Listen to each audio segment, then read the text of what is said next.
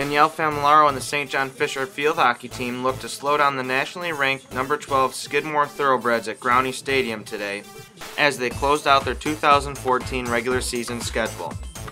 Familaro helped keep the game scoreless early on with a great stop on this penalty shot for the Cardinals. Skidmore would be persistent though and get on the board first with a goal by Becca Halter halfway through the first half. Fisher would fight right back on the ensuing faceoff, and Jessie Smirsky would put home her second career goal just a minute later to tie the game back up.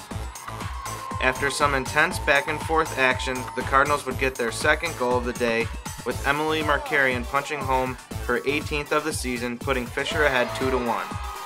It looked like Fisher would head into halftime up 2 1, but Halter tallied her second goal off a penalty corner with no time left on the clock.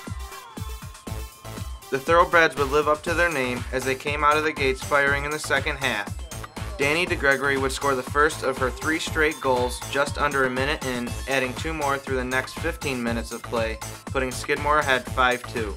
Both teams would score one more goal apiece and finish with a final of 6 3. Familaro would take the loss in goal for the Cardinals while tying a career high in saves with 20. Fisher ends the regular season with an overall record of 11 and 8, 7 1 in the Empire 8. They will return to action next Saturday at 2 p.m. as the number 2 seed in the Empire 8 Conference Tournament, hosted by Utica.